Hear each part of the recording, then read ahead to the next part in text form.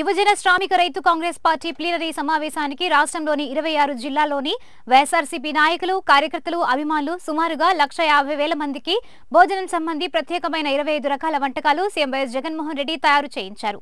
Acharya Nagarjuna university ఎదురు జరుగుతున్న YSR Congress party plenary సమావేశానికి రాష్ట్రం నలుమూలల నుంచి పెద్ద ఎత్తున వైసీపీ నాయకులు కార్యకర్తలు అభిమానులు మహిళలు తరలివచ్చారు. ఉదయం భోజనాలు టిఫిన్లు ఏమో ఒక యాభై వేల మందికి. మధ్యాహ్నం భోజనాలు mutton biryani chicken curry chicken fry చేపల పులుసు చేప ఫ్రై రొయ్యల కూర. లక్ష యాభై వేల మందికి మనం ప్రిపేర్ చేస్తున్నామండి.